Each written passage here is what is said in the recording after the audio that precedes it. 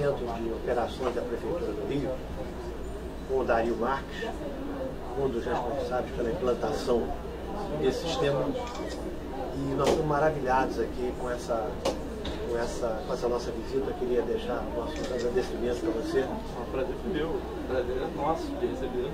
Vamos torcer para que um dia os animais chipados possam também ser identificados um dia pela Prefeitura do Rio para facilitar os, os, os, resgates. É um longo caminho, né, Dari? Mas é fantástico o trabalho de vocês aqui. Mostra Mas só. vai chegar com certeza.